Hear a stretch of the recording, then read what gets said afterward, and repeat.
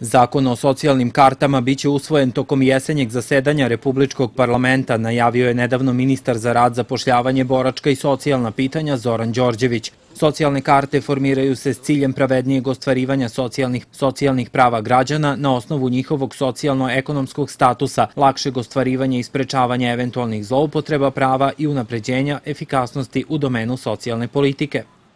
Izrada socijalnih karata će biti značajna za poboljšanje, odnosno targetiranje e, porodica u sistemu socijalne zaštite.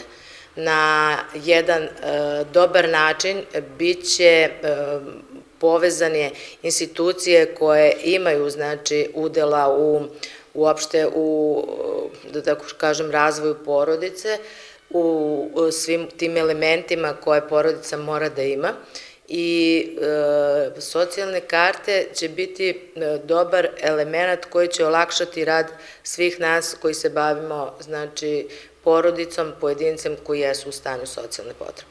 Oblast socijalne zaštite u Srbiji očekuje dosta zakonskih i podzakonskih promena, kaže ministar. I sistematizacija, mi smo umeđu vremenu počeli da radimo sa UNOPS-om i Kancelarijom za javno ulaganja i želimo da izgradimo nove centre socijalni rad, brinući pre, svega o uslovima u kojima rade ti ljudi, želeći da Srbija u nekom skorijem vremenu, pa to govorim u narednih par godina, dobije moderne centre socijalni rad koji će biti upravo po meri zaposlenih i upravo po meri onoga posla koga oni obavljaju. Pre desetak dana u Beogradu je održana i međunarodna konferencija o unapređenju ljudskih resursa u sistemu socijalne i dečje zaštite.